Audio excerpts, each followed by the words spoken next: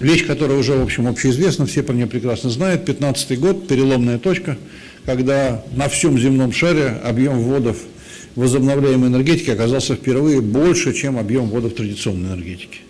Как мы понимаем, с вами такая качественная точка, это серьезная история. Это означает, что при сохранении вот этой картинки, даже без наращивания э, дальнейшего объема вводов ВИА, а это происходит, даже без наращивания, хочу это подчеркнуть, современная электроэнергетика вышла на необратимый тренд, в котором доля возобновляемой энергетики в мире будет расти, расти, расти и расти, а доля традиционной энергетики сокращаться, сокращаться, сокращаться и сокращаться. Э, страновые системы поддержки. Э, вот в шестом году, в 2006 году 45 стран в мире создали у себя системы поддержки возобновляемой энергетики. А в 2018, а в 18 году таких стран более 170. 170 это, считайте, весь мир. Все, привет. А, а, в том числе, кстати, Россия. У нас не было страновой системы поддержки в шестом году, но сегодня, как мы все знаем, она есть. Если не углубляться, если не уходить в детали, если не ввязываться в споры, хотя я, повторю еще раз, готов отвечать здесь на любые вопросы, вывод очень простой и ясный. Дискуссия про возобновляемую энергетику завершена. В мире поставлена точка. Нет диалога о том, да или нет. Нет диалога о том, нужно или не нужно. Нет диалога о том, правильно или неправильно. Человечеству все ясно. На этом фоне мы с вами в России продвигаемся, на этом фоне мы с вами в России делаем то, что мы делаем, но вот этот фон мы должны понимать. Я не знаю сегодня серьезного ученого, не то что мейнстримовского, а просто серьезного ученого, который бы по-настоящему отстаивал точку зрения о том, что она не нужна. Э, точно так же, как и серьезные предприниматели. В общем, с этой позиции ушли. Мир принял решение о необходимости и необратимости возобновляемой энергетики. В России э, на этом фоне мы выглядим, как бы это аккуратно сказать, очень скромно, э, чтобы не использовать других слов и других терминов. Ну вот мы так приблизительно на этом графике свели э, те стратегические э, цифры, которые ставят перед собой разные страны мира. Вы видите тут картинки от 20% до 80%. Это в далеком будущем.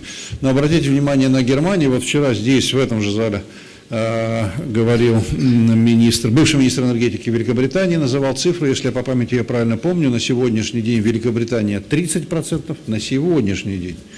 А Германия на сегодняшний день 35%. Сегодня 30 и 35, а у нас в 2024 году, как мы все договорились, будет аж целый процент. Аж целый процент. А, больше того, дальше эта наша кривая уходит в развилку, которую мы откровенно вам показали. Что тут скрывать, это и есть предмет серьезного тяжелого спора, который сейчас идет. Нижняя линия с 1% доводит нас к 1935 году аж до 1,8%. А верхняя линия, за которую мы боремся, доводит нас до 2,4%. Ну, я уже говорил, могу еще раз повторить, я все равно считаю, что у нас нет задачи догнать и перегнать. Это вот не про это. В России есть фундаментальные предпосылки, которые делают углеводородную энергетику осмысленной на гораздо более длительной исторической перспективе, чем а, в Европе. Это факт. Но обратный вывод, конечно же, безусловно верный, состоит в том, что мы не можем не создавать, а дальше вопрос о том, каким должен быть ее объем, это серьезный вопрос, и я попробую в ходе лекции дать наш вариант ответа на этот вопрос. В любом случае, эта развилка очень непростая и серьезная, но сегодня нас сравнивают с миром. Как-то хочется лучше убрать этот график, чтобы не расстраиваться и чтобы на него не смотреть. Природный потенциал. Э, до сих пор часто приходится сталкиваться с э, такой э, популярной точки зрения, ну, практически обывательской, что в России солнечное, какое солнечное, у нас холод собачий, какое солнце, нет у нас солнца. Мы не, мы не арабы и даже не европейцы. ошибка, ошибка. Россия страна холодная, но не темная, во всех смыслах этого слова. Это разные вещи. Это разные вещи. Да, у нас холодно, у нас не темно. В России большая часть территории – это континентальный или резко континентальный климат. Резкий континентальный климат – это низкая влажность. Низкая влажность – это низкая облачность. Низкая облачность – это инсоляция. Э, в этом смысле потенциал природный, российский по Солнцу, очень значительный. Он далеко не исчерпывается только одними южными регионами. Кстати говоря, если уж серьезно говорить, чуть более профессионально, о влиянии температуры на КПД солнечной генерации, специалисты, присутствующие здесь, не дадут соврать, она, она обратная – чем ниже температура, тем выше КПД. Вот этот коэффициент каждый полградуса прибавляет, каждый градус прибавляет полпроцента КПД. В этом смысле забудем о тезисе о том, что в России нет природного потенциала. Это просто неверно. Ну а если провести сравнение уже более детализированное по регионам и по городам, ну вот по этому простому графику видно, что у нас, например, вот посмотрите, Берлин, э, сравните его, и увидите, что выше Берлина у нас э, не только там Краснодар или нужно южные регионы, а нас выше Берлина Челябинск, выше Берлина Бурятия, выше Берлина Алтай, выше Берлина Саратов и так далее, и так далее. А Берлин, как и вся Германия, мировой лидер по солнечной энергетике. Поэтому, да, считаю, что эту тему тоже проехали. В России потенциал по Солнцу колоссальный, просто колоссальный.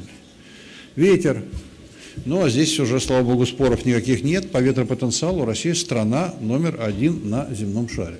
Номер один на земном шаре.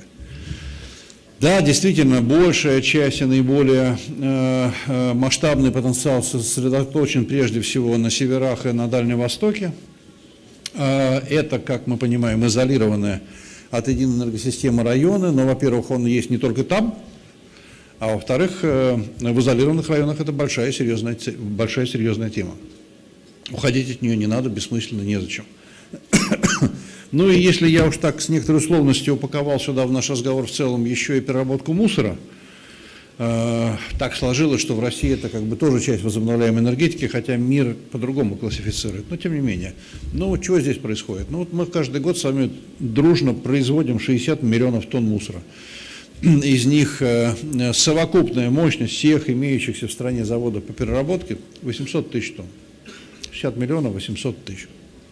Это там, один с небольшим процентом. Но эту мощность, а, к сожалению, так случилось, что ни один из этих заводов, имеющихся на сегодня, не включен в систему поддержки. А, они, как правило, либо вообще не догружены, либо находятся в предбанкротном состоянии. Проще говоря, Россия сегодня не умеет э, перерабатывать мусор в электроэнергию. Э, неправильно было бы сказать, что вот весь мир перерабатывает весь мусор в электроэнергию. Это, конечно, не так. Это, конечно, не так. Э, в разных странах выбраны разные модели. Но вот смотрите, в Америке там 7% доля мусора перерабатываем в электроэнергию, а в Швеции аж 50%. Э, но в любом случае совершенно очевидно, что наши параметры здесь ну, просто не, не, не, совсем не годятся. И совершенно ясно, что задача, или если хотите потенциал опять же, природные для создания индустрии переработки мусора в электроэнергию в России колоссален, а с учетом всей остроты проблемы, с учетом того, как там, не знаю, Подмосковье просто задыхается, ну, все же видят, что происходит, вплоть до каких-то массовых э, мероприятий болезненных, ну, совершенно ясно, что э, у нас здесь задачи колоссальные, и предпосылки для них вполне работоспособные, вполне серьезные. А, третья часть, как было сказано в разговоре, это анализ того, как создавалась российская система поддержки возобновляемой энергетики. Мы с вами все понимаем, что нигде на земном шаре возобновляемой энергетики не возникало без серьезной системы господдержки. Хоть в Штатах, хоть во Франции, хоть в Германии. Ну и мы в этом смысле не исключение. Создание этой системы проходило в три этапа, про каждый из которых хотя бы два слова надо сказать, и я это хочу сделать. Первый этап, старт всей этой истории, 2007 год, собственно, создание законодательной основы поддержки ВИО. Я сейчас о нем расскажу. Второй этап, достаточно сложный и серьезный, исходя из закона, э, построить всю нормативную базу, все, весь состав подзаконных нормативных актов. Ну и, наконец, третья часть, это вот переход из бумаги в железо. Это запуск конкурсов, это начало строительства. На третьем этапе, как мы знаем, э, мы сегодня и находимся.